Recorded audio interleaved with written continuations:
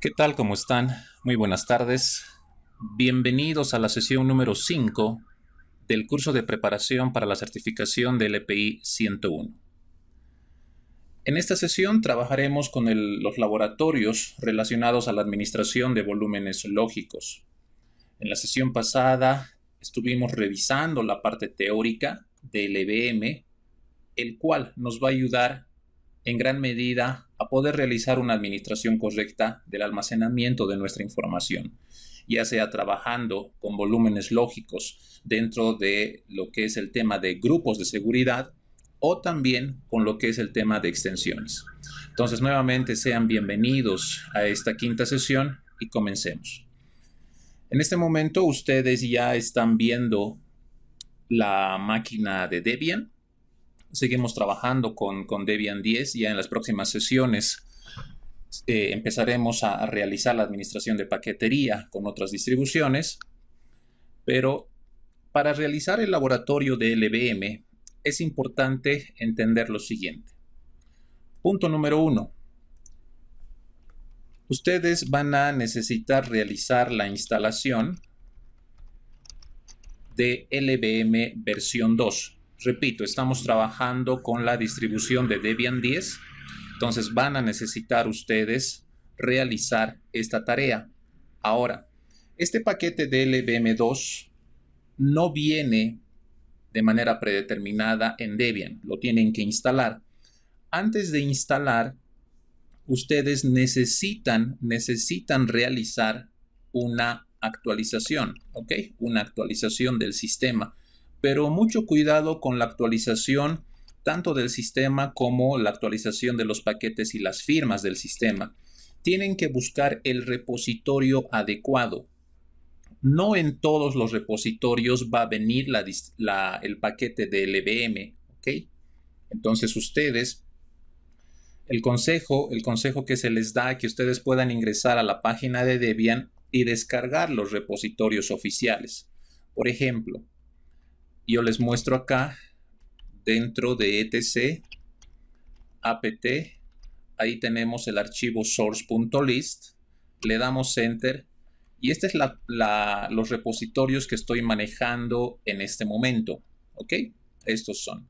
Y estos han sido sacados justamente de la página de Debian. Y como están viendo acá cada repositorio está apuntando a la distribución de Buster que es justamente la de Debian 10, Buster. ¿Listo? Entonces, por favor, tienen que tener mucho cuidado con esto, porque si no obtienen los repositorios eh, actualizados y si no realizan la actualización de los paquetes del sistema, no van a poder realizar la instalación de, eh, de LVM, ¿ok? Entonces, eso tienen que tener mucho cuidado. Bien, entonces, a ver, Punto número uno. Ya han instalado o tienen que instalar LVM2. En el caso mío ya lo tengo instalado. Ahora, voy a utilizar algunos discos, por ejemplo, utilizando el, el comando fdisk-l que ustedes ya lo han aprendido a manejar en sesiones pasadas. ¿ok? Por ejemplo, tengo el disco donde está instalado Debian, que es de 60, de 60 gigas. Este disco, ustedes ya saben que tiene dos particiones, una para la memoria de intercambio y otro para el sistema como tal. Tengo otros tres discos. Uno de 20, que está en SDB. Uno de 30, que está en SDC. Y otro de 40, que está en SDD. ¿Está bien? Entonces, y si se dan cuenta, estos discos no tienen ninguna partición. Son discos que acabo de adicionarlos. Entonces, tenemos que ir creando las diferentes particiones dentro de cada uno de los discos. ¿Ok? Entonces, ya hemos aprendido también a trabajar con el tema de particiones. Más que todo, hemos aprendido con Gdisk, ¿no? Ahora vamos a trabajar con fdisk para crear el tema de las particiones. ¿Listo? Entonces, tomen en cuenta todo esto, por favor. Instalan LVM2 y tienen que tener discos adicionales. ¿Ok? Bien. Entonces vamos a, vamos a comenzar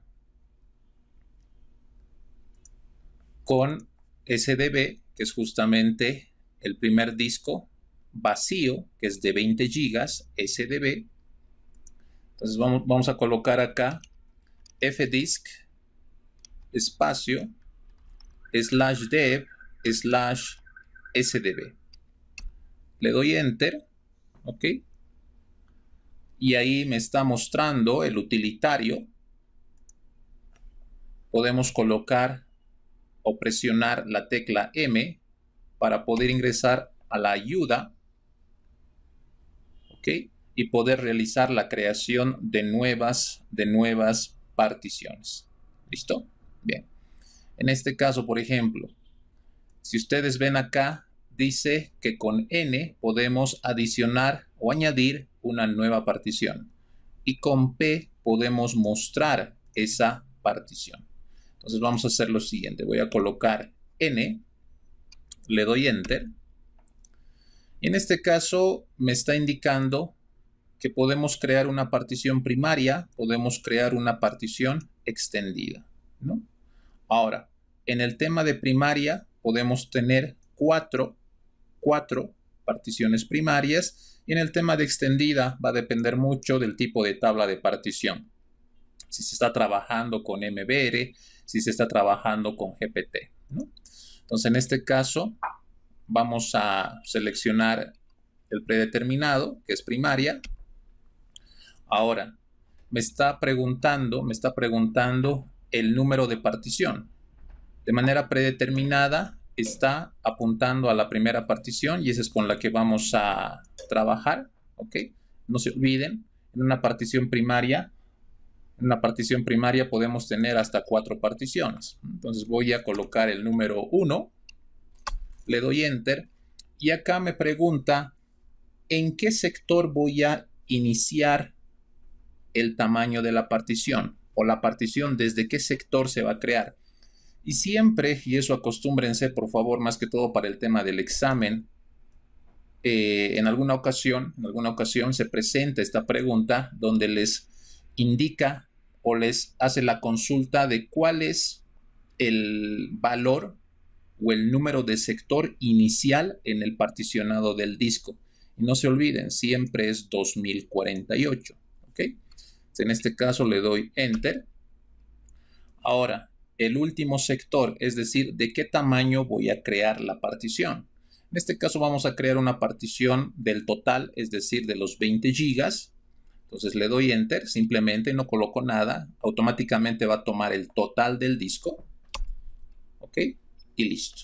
Si colocamos o presionamos la tecla P, fíjense que ya ha creado acá de 20 gigas la partición. Estamos en el disco SDB.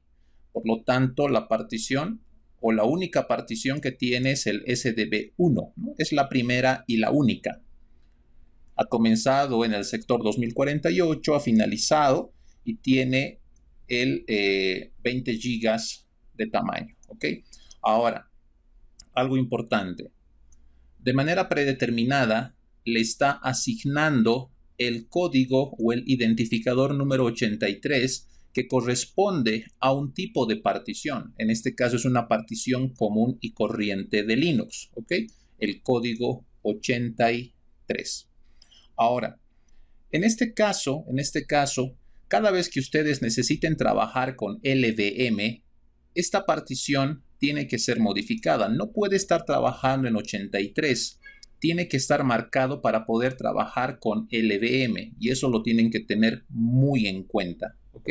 Entonces, para poder trabajar con uh, LVM, vamos a mostrar la tabla, ¿ok? La tabla de códigos de configuración.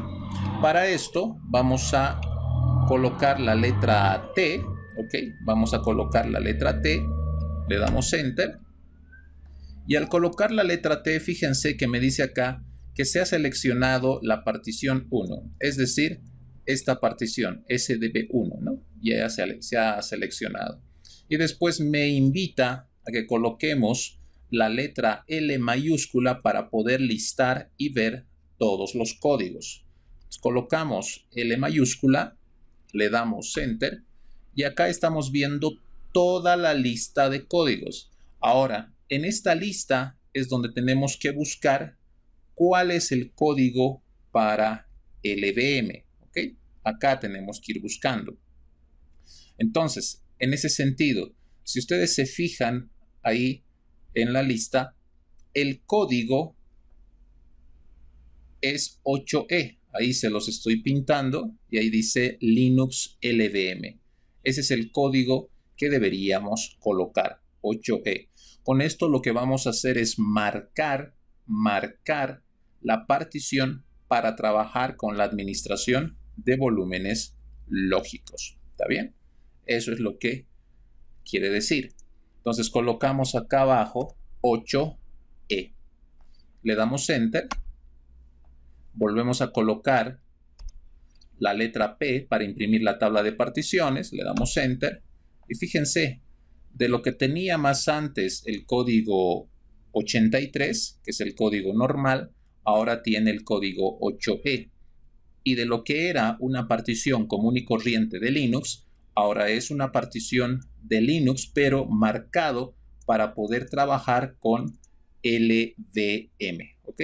Esto tienen que tomarlo muy en cuenta. No se pueden olvidar que las particiones tienen que estar marcadas para trabajar con LVM. ¿Listo? Bien. Ahora vamos a guardar todos estos cambios que acabamos de hacer con la tecla W. Colocamos W, le damos Enter y listo. Nos dice que se ha hecho la modificación de la tabla de particiones. ¿Ok? Perfecto. De la misma forma vamos a ir realizando para los demás discos. Ahora hemos trabajado con SDB.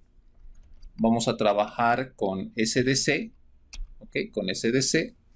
Vamos a crear una nueva partición. ¿Ok? Una nueva partición.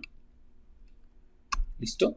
En este caso, simplemente para poder ejemplificar, vamos a agarrar el total. El total, podríamos crear diferentes particiones, no hay problema. A ver, yo le voy a dar acá. Este es, este es por ejemplo, de, de 30, ¿no? Es de 30 gigas. Vamos a hacer lo siguiente. Va a comenzar en 2048. Y acá le podemos decir más 20G. ¿Está bien? Más 20G, más 20 gigas. Listo. Si imprimimos, ahí está de 20 gigas, pero ojo que todavía nos, nos sobra, nos sobra. Vamos a crear una nueva partición. Ok. Ahora le podemos dar el valor número 2, número de partición. Va a comenzar en ese sector, porque ahí se ha quedado los 20 gigas. Y vamos a tomar el restante. ¿Está bien? Vamos a tomar el restante. Si imprimimos, entonces ahí nos aparece el SDC1 y el SDC2. ¿ok? Ahí está uno de 20 GB y uno de 10 GB. No se olviden que este disco es de 30 GB, como lo están viendo acá. Es de 30 GB, el SDC. ¿Está bien? Y ambos están con Linux, ¿no? Ambos están con Linux con código 83. ¿Listo? Voy a colocar T Ahora, acá me pregunta, ¿qué número de partición? ¿La 1 o la 2? Como tengo 2, ¿ok? Como tengo 2, voy a seleccionar la primera, la 1. ¿Listo? Y en la lista podemos listar, pero ustedes ya saben que es 8E. ¿Está bien? 8E. Listo. Vuelvo a imprimir. Fíjense, el de 20 GB que ya está con 8E, ya está marcado, ya está marcado para LVM. Podemos hacer lo propio para la siguiente partición. nuevamente coloco T, el valor predeterminado es 2, está bien, y colocamos 8E. Le damos Enter, nuevamente la tecla P, imprimimos la tabla de partición, ahora los dos ya están marcados para trabajar con LVM. Al final de todo esto simplemente guardamos con W, le damos Enter y listo. Y finalmente, para SDD, hacemos lo propio. En este caso voy a agarrar el total. ¿Está bien? Voy a agarrar el total. Bien, entonces acá le damos Enter y como les había comentado, agarramos el total, colocamos la letra P y ahí nos aparece de 40 gigas. El identificador está trabajando con 83. Lo marcamos para que trabaje con LVM. Entonces presionamos la tecla T, le damos Enter y acá podemos colocar obviamente la lista de códigos, pero como ya sabemos que el código es 8E, colocamos 8E, Enter, ok, imprimimos, ahí está la partición de 40 gigas y está marcado para LVM. Ya no es una partición como antes, una partición normal, ahora es una partición marcada para LVM. Finalmente guardamos y listo. Una vez que hemos realizado toda esta tarea, toda esta tarea, vamos a hacer lo siguiente. Voy a colocar acá fdisk "-l". Voy a utilizar un pipeline para hacer un filtro con grep y le voy a decir que me verifique todo lo que es SD. ¿Está bien? SD. Le doy enter y fíjense, acá están todas y cada una de las particiones que tenemos en el sistema. La primera, que es el SDA1, que no es más que la memoria de intercambio, el swap, como lo están viendo ahí. El SDA2 tiene el asterisco. Por ende, como tiene el asterisco, es eh, el arranque del sistema operativo. En esta partición está instalado Debian, ¿no? Pero están en particiones normales, ¿no? No se preocupen de eso, ¿ok? Ahora, lo que sí necesitamos para lo que es el tema de almacenamiento ya es en los otros discos y fíjense, el SDB1 está para LVM, el SDC1 para LVM, SDC2 para LVM y SDD1 para LVM. ¿no? Entonces tenemos ya todas estas otras particiones marcados para LVM. ¿Ok? Bien.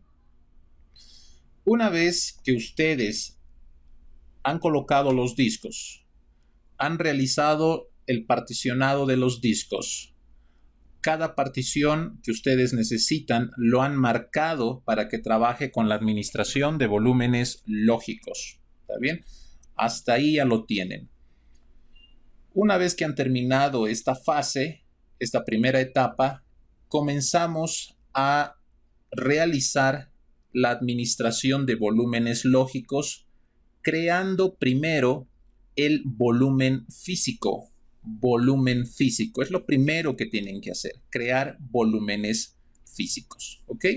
Ahora, para la creación de volúmenes físicos se utiliza el comando pbcreate. ¿Está bien? Ahí lo tenemos, el comando pbcreate, pero mucho ojo con esto. Este comando pbcreate está dentro eh, del paquete LVM2. Entonces, este comando no va a estar disponible si es que ustedes no han instalado LVM2 como les había comentado en un principio y como se les ha mostrado en un principio el comando para poder instalar el paquete. ¿Está bien? Entonces con esto estamos creando volúmenes físicos y el comando viene de eso, ¿no? Physical Volume, Create, crear volúmenes físicos. Entonces, tenemos que ir creando volúmenes físicos según las particiones que han sido marcadas con LVM. Tenemos SDB1, SDC1, SDC2 y DD1. ¿Está bien? Entonces acá le decimos slash, slash dev, SDB1, ¿ok? Listo. Y fíjense que al darle enter nos dice physical volume, volumen físico creado satisfactoriamente para SDB1. ¿Está bien? Ha sido creado satisfactoriamente para SDB1. Y de la misma forma vamos creando para SDC1, SDC2 y SDD1. ¿Está bien? Estamos creando volúmenes físicos. Obviamente, tienen que crear volúmenes físicos en todas las particiones que ustedes han marcado para LVM. Particiones que no quieran que estén marcadas para LVM, entonces no es necesario. Solo los que están marcados para LVM. ¿Ok? Entonces, hasta el momento, en todos estos ya tenemos volúmenes físicos, en todas estas particiones. ¿Cómo podemos verificar que efectivamente tengamos ahí volúmenes físicos. Entonces, para esto existe el comando PV ¿ok? Mostrar volúmenes o desplegar volúmenes físicos. Le damos Enter y ahí está. Vamos a irnos hasta más arriba, hasta el momento que le hemos dado PV Display. Y fíjense, acá tenemos en el SDB1, tenemos un nuevo eh, volumen físico de 20 gigas. Eso está correcto. Nombre del volumen físico, SDB1. ¿Ok? Tamaño del volumen físico, 20 gigas. ¿Ok? Identificador único universal del volumen físico es su código único por cada volumen físico. Tenemos el SDC1 de la misma forma con 20 gigas. No se olviden que en este caso el SDC tiene dos particiones, el SDC1 y el SDC2, ¿ok? Que es de 10 gigas, ahí están los 30 gigas. ¿Listo? Y obviamente por cada partición, aún así pertenezcan al mismo disco, por cada partición se tiene su propio identificador universal. Por cada eh, partición, aún así pertenezcan al mismo disco. Y finalmente el SDD1 de 40 GB y también tiene su propio identificador único universal. ¿Ok? Entonces, esa es la forma, ese es el comando con el cual ustedes pueden crear los volúmenes físicos por cada partición que ha sido marcado con LBM. Bien, ya tenemos volúmenes físicos, ¿ok? Ya tenemos volúmenes físicos. Ahora, es el momento de crear grupo de volúmenes, ¿ok? Grupo de volúmenes.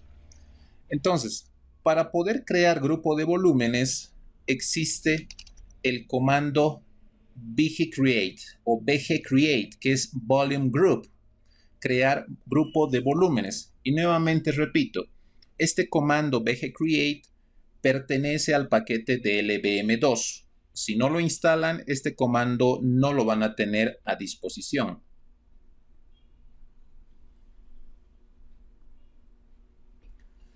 Ahora, una vez que colocan uh, bgcreate, tenemos que crear un nombre de volumen. ¿Está bien? Nombre de volumen. En este caso yo le voy a dar como nombre de volumen seguridad. Y voy a colocar acá la partición SDC, en este caso SDB1. ¿Está bien? SDB1. Vamos a ir en orden. Voy a comenzar con esta partición.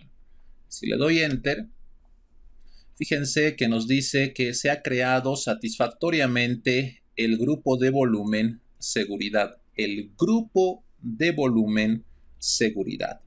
¿Ok? Perfecto. Ahora, una vez que hemos creado el grupo de volumen, por ejemplo, podríamos utilizar el comando bgdisplay para poder ver el nuevo grupo de volumen que acabamos de crear. Si le damos Enter, entonces ahí nos aparece grupo de volumen nombre del grupo de volumen, seguridad. Ahí aparece seguridad. ¿Cuál es el formato que se está utilizando para este grupo de volumen? Se está utilizando LBM2. ¿Está bien? LBM2. Ese es el que se está utilizando. Bien. En este grupo de volumen tenemos accesibilidad a nivel de lectura y de escritura. Podemos redimensionar, es redimensionable este grupo de volumen. ¿no? Nos aparece ahí. ¿De qué tamaño es este grupo de volumen? Según el tamaño de la partición.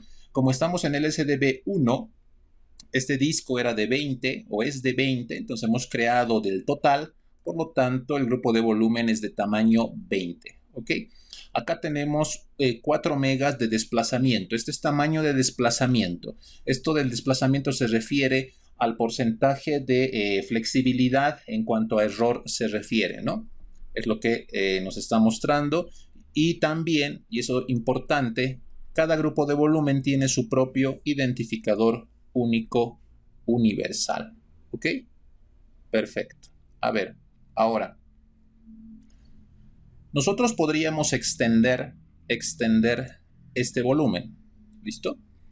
¿Cómo podemos extender este volumen? Existe el comando eh, bgextend, extend, para extender grupo de volumen. Mantenemos, como estamos extendiendo, mantenemos el mismo nombre del grupo de volumen seguridad, pero ya tenemos que adicionar otra partición. ¿Cuándo ustedes van a extender un volumen? Cuando ya se estén quedando sin espacio. Lo que les comentaba ayer en la parte teórica.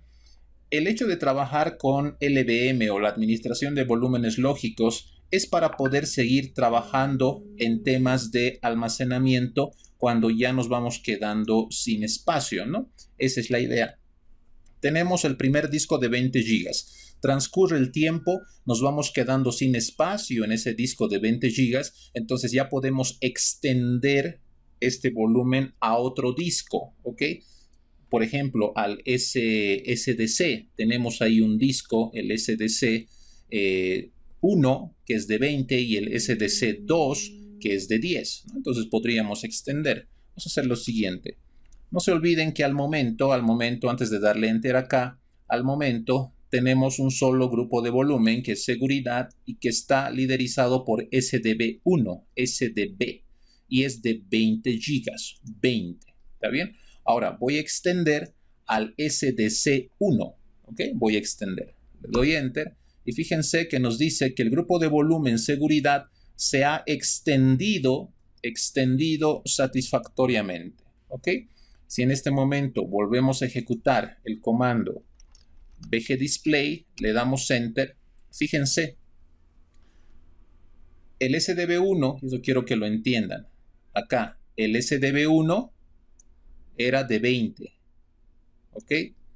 Acabamos de extenderlo al SDC1, que también es de 20. 20 más 20, 40. Y ahí está. Aparece 39.99. Ahí están los 40, los 40 gigas. Esa es la forma en la que ustedes pueden extender. A ver, no se olviden que eh, en el disco SDC tenemos dos particiones, el 1 y el 2. Voy a colocar el 2 más, que es de 10 gigas, ¿no? De 10 gigas. Enter. Y sigo extendiendo, sigo extendiendo. Era de 40 gigas más estos 10 tendría que ser de 50 gigas. Entonces, fíjense, ahora el tamaño.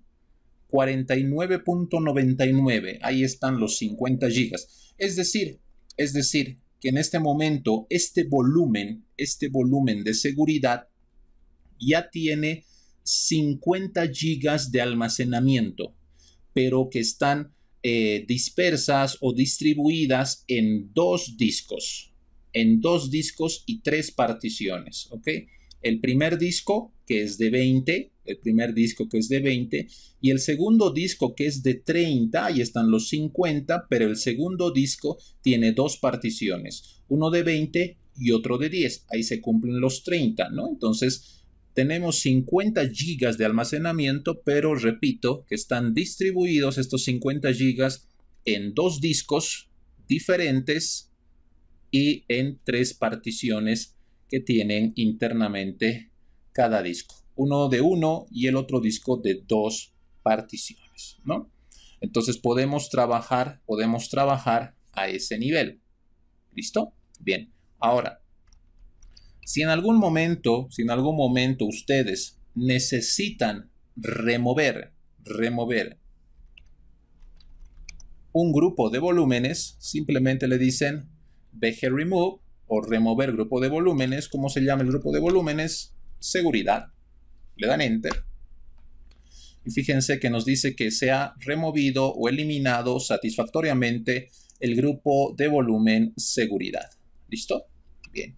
Colocamos BG Display, Enter. Y fíjense que ya no nos sale nada. Ya no tenemos absolutamente nada. ¿Por qué? Porque se ha eliminado el grupo de volúmenes podemos volverlo a crear ese grupo de volúmenes de golpe para no estar haciéndolo eh, partición por partición. Si queremos hacer eso, le podemos decir bg create seguridad de slash dev sdb1 espacio slash dev sdc1 espacio slash dev slash sdc2, como lo teníamos en un principio, pero hace rato lo hemos creado uno por uno. Ahora lo estamos haciendo de golpe, sabiendo qué particiones tenemos y sabiendo qué particiones necesitamos que estén en el grupo de volúmenes. Le damos Enter y el volumen se ha creado satisfactoriamente con estas tres particiones que están distribuidas en dos discos. El primero en el primer disco y las otras dos particiones en el segundo disco. ¿Ok? Nuevamente colocamos acá BG Display, le damos Enter y fíjense, ahí está nuevamente nuestro grupo de volumen que se llama seguridad, tiene el formato de LVM2, se puede leer y escribir, es redimensionable, como es la costumbre de la administración de volúmenes lógicos, y tiene un tamaño de 50 gigas, como lo teníamos hace un momento, y ahí tiene su identificador único universal del grupo de volumen. ¿no? Entonces ya tenemos ahí los 50 gigas en el grupo de volumen que alberga, repito, dos discos diferentes, ¿no? incluso de diferente tamaño. Entonces entenderán acá que para crear volúmenes o administrar eh, volúmenes no es necesario, como otras tecnologías, que tiene que ser el mismo disco, que tiene que ser del mismo tamaño, que tiene que ser de la misma marca. Hay ocasiones y hay tecnologías que a veces nos obligan a, cumplir eh, esas normas, esas reglas, ¿no? que si quieres que funcione todo bien, los discos tienen que ser del mismo tamaño, tienen que ser del mismo, de la misma marca, etcétera, ¿no? Para que no haya problemas de compatibilidad. En este caso no, pueden ser de diferente tamaño, la administración de volumen lógico no se hace ningún problema, ¿ok? Bien. Tenemos 50 gigas. Ahora, como ya tenemos 50 gigas, estos 50 gigas lo podemos distribuir. Distribuir y empezar a crear en estos 50 gigas empezar a crear ya, eh, entre comillas, particiones para poderlas ir utilizando. Por ejemplo, voy a crear el primer volumen lógico, el logical volume. Logical volume create. ¿Está bien? Para eso está lv create, crear volumen lógico. Entonces, le doy menos L, menos L, ¿de qué tamaño va a ser la partición que voy a crear de estos 50 gigas que tengo. Primero, a ver, la primera partición que sea de 10, que sea de 10 gigas, ¿está bien? Ahora, le tengo que decir de qué volumen voy a sacar esa cantidad de 10 gigas. Ah, sacamos del único volumen que tenemos, del volumen seguridad. ¿Está bien? ¿Podríamos tener varios volúmenes? Claro que sí. Por ejemplo, tenemos el SDD que podría ser otro volumen, ¿está bien? Otro volumen. Entonces, mucho depende. Ustedes pueden tener varios discos. Pueden tener, eh, yo qué sé, cinco discos. Los primeros dos en un volumen, los otros tres en otro volumen, ¿no? Y ustedes ya van a ir armando todo esto de qué volumen van a sacar eh, el tamaño para poder crear. En este caso, tengo el volumen seguridad de 50 gigas de esos 50 estoy creando un volumen lógico de 10 gigas. Le doy enter y fíjense acá me dice volumen lógico creado. Ahora, cada vez que ustedes creen un volumen lógico, le va a dar un eh, nombre, si vale el término, un nombre automáticamente, y el nombre siempre va a ser LVOL, que viene de Logical Volume o volumen lógico, y le está poniendo el 0. ¿Está bien? Le está poniendo el 0. Vamos a crear otro, por ejemplo, de, 5 gigas. Voy a colocar acá 5 gigas, Enter, y fíjense, ya le pone LVOL 1. ¿Está bien? Como tengo 50 gigas y he gastado 15, voy a gastar eh, otros 15. Ok, con eso ya serían 30. Listo, y ahí aparece LVOL 2, ¿no? Empieza en 0, 1, 2. Hasta el momento ya tengo tres volúmenes uno de 10, uno de 5 y el tercero de 15. ¿Ok? Ahora, para poder revisar, para poder ver la creación de estos volúmenes lógicos, se utiliza LV Display. ¿Ok? LV Display. Le damos Enter. Vamos a ir hasta el momento en que le hemos dado Enter. Acá está LV Display. ¿Está bien? LV Display. Y ahí nos aparece, ¿no? Volumen lógico. ¿Cuál es el primer volumen lógico? Elevol 0, ¿no? Ahora, importante, y esto tienen que eh, entenderlo, tiene una ruta de almacenamiento el volumen lógico. ¿Dónde se va a almacenar? En el directorio o en la partición dev, ¿no? No se olviden que dev es el que se encarga de administrar todo lo relacionado con hardware. Como en este caso estamos trabajando en la administración de discos y almacenamiento, entonces es coherente que esté dentro de dev. Luego, dentro de dev se ha creado el volumen o el grupo de volumen seguridad. Y dentro de seguridad estamos creando esta partición, que es lvol 0 o volumen lógico 0, ¿no?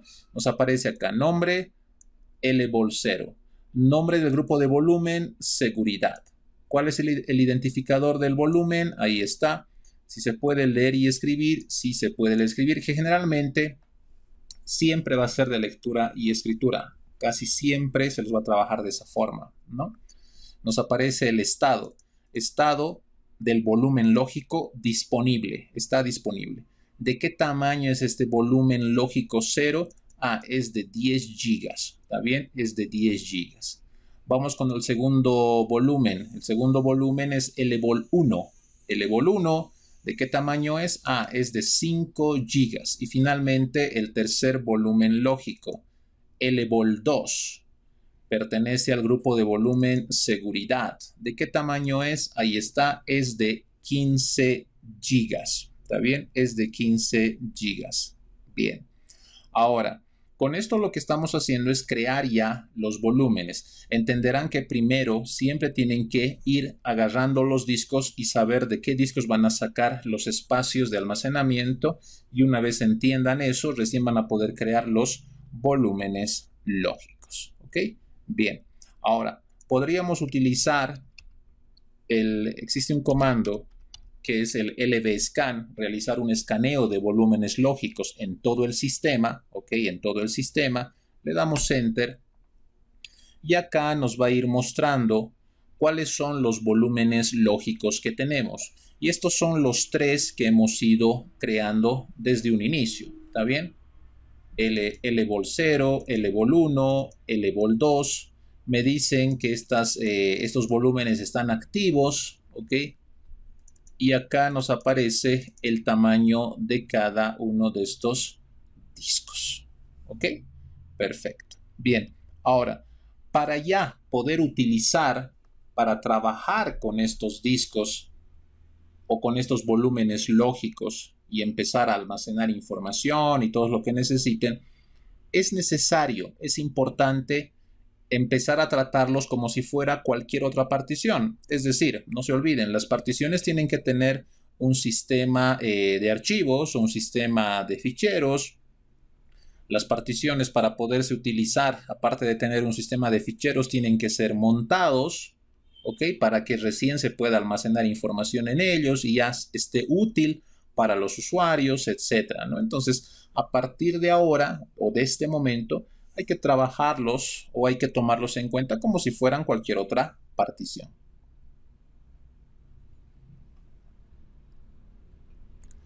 Entonces, a ver, ¿qué vamos a hacer acá? Punto número uno. Primero, voy a colocar el comando blkid. ¿Está bien? blkid.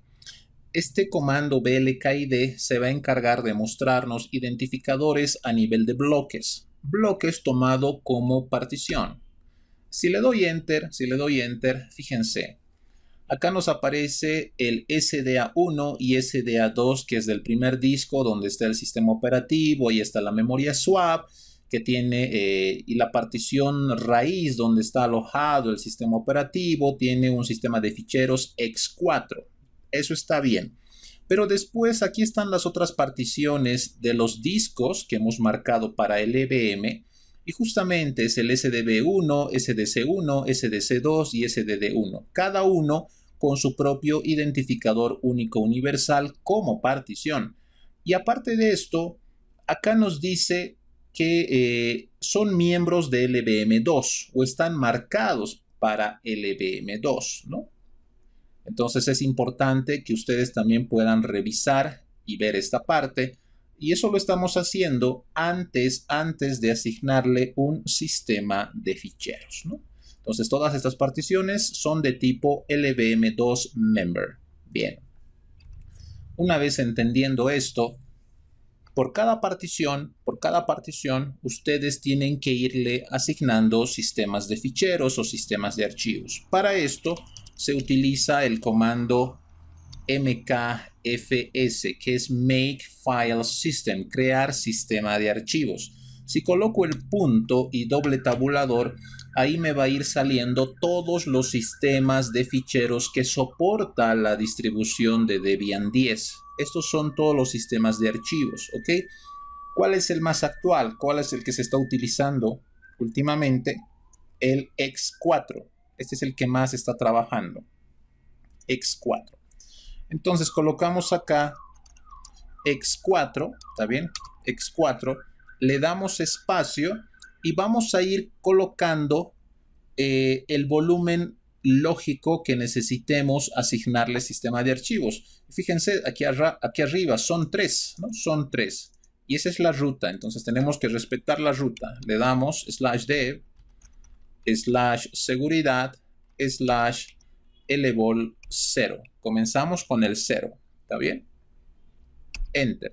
Y fíjense, ya se ha asignado al lvol 0, se ha asignado y se ha creado el sistema de archivos, ¿no? Como nos, dice acá, creando sistema de archivos, asignando un identificador para, eh, para este sistema de ficheros, ¿ok? Nos está mostrando esa información, el, tema de bloques y demás.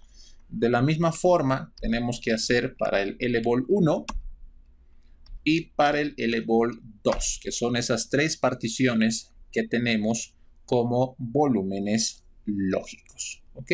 Bien. Una vez realizando esta tarea, vamos a volver a ejecutar el comando blk id. Le damos enter y fíjense, hace ratos, hace un momento teníamos esto, ¿ok? Solamente teníamos hasta ahí, pero fíjense ahora, como ya le hemos asignado, ya le hemos asignado sistema de ficheros a estos volúmenes lógicos, entonces ahí aparece. Fíjense, cada una de estas particiones está con x4, x4 y x4, que es lo correcto, que es lo último que está manejando. Tienen su propio identificador de seguridad cada una de estas particiones. Ahí está el EVOL 0, el EVOL 1, el EVOL 2, etc.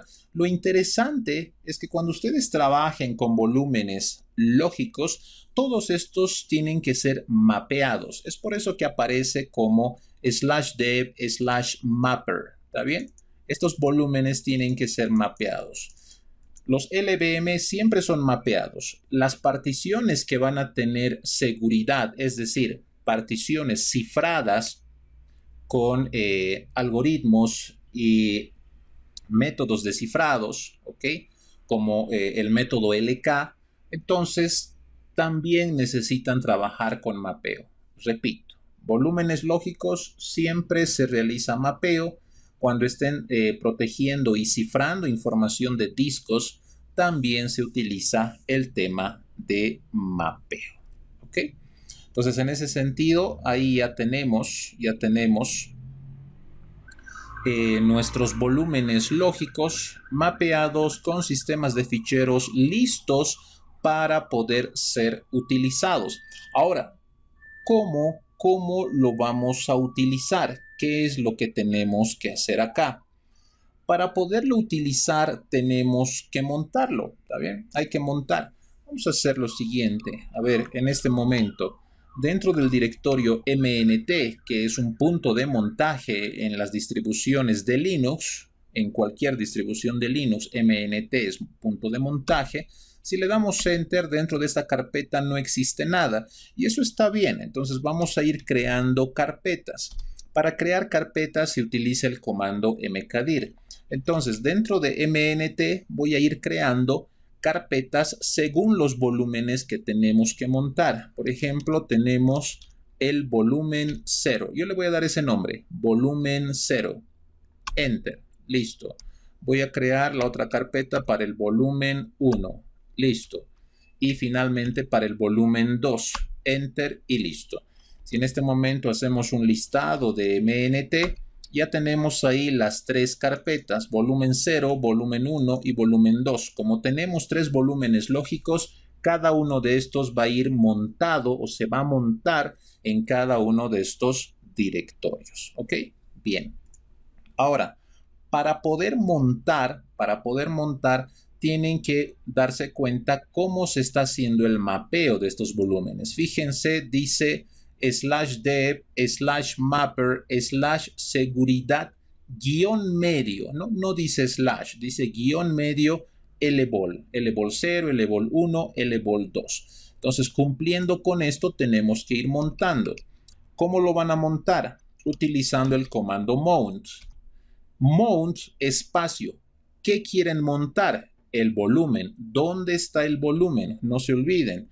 Está en dev, está en mapper, está en seguridad y aparece LVOL. Vamos a comenzar con el volumen lógico 0 espacio, eso es lo que queremos montar, espacio, ¿dónde lo vamos a montar? En, en, la carpeta volumen 0 y la carpeta volumen 0 está en MNT y ahí tenemos volumen 0. Entonces, esta es la forma de montar el comando mount, lo que vamos a montar y dónde lo vamos a montar. ¿Ok? Listo. Le damos enter. Perfecto. Con esto ya estaría montado este volumen. ¿Ok? Perfecto. Vamos con los otros volúmenes. Acá le decimos L vol 1 y volumen 1. Luego le decimos L vol 2 y volumen 2. Perfecto.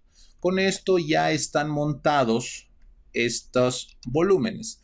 Para poder ver si efectivamente están montados, simplemente ejecutamos un ls-l mnt y la carpeta volumen 0.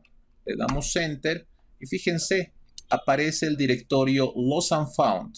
Cada vez que ustedes creen una nueva partición, monten esa nueva partición y aparece Lost and Found, quiere decir que esa partición ya está lista para trabajar. ¿Y cómo sabemos que está lista para trabajar? Antes que nada veremos los otros volúmenes si están también con Lost and Found, correcto y finalmente el volumen 2 correcto. Pues fíjense, todos están con los and found, los and found y los and found. Quiere decir que los tres volúmenes lógicos han sido montados correctamente y ya podríamos o los usuarios o los funcionarios ya podrían almacenar información en estos volúmenes. ¿ok? Por ejemplo, a ver, voy a crear, voy a crear un archivo con el comando touch voy a crear un archivo, el archivo se va a llamar justamente archivo1.txt, ¿ok?